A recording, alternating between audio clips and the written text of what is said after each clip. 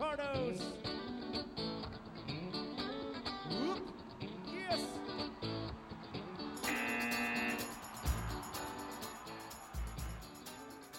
That was not easy. You want to talk about 100% a try? You can't try any harder. As we watch it back, started in that Rocky Mountain equipment buck and shoot from the Vold Rodeo Company in Prescott's. Stranger with Candy, I don't care what the numbers are.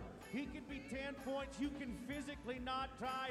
I don't care what's coming. Jesse Kardos needs some from you guys right now.